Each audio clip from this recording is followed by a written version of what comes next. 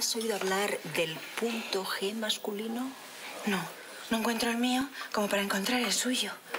Está en el culo. ¿Ah, sí? Ay, qué curioso. ¿Qué sitio para ponerlo? La próxima vez que hagáis el amor, tú prueba a meterle un poquito el dedo en el culete. O sea, como una exploración de próstata, pero eh, con más sentimiento.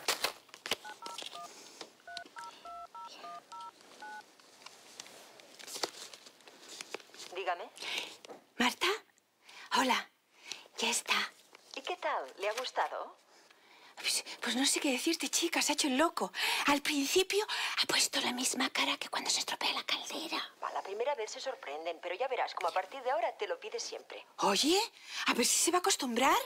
Pues porque para una enfermera es como traerse trabajo a casa. Me voy a tener que cortar las uñas.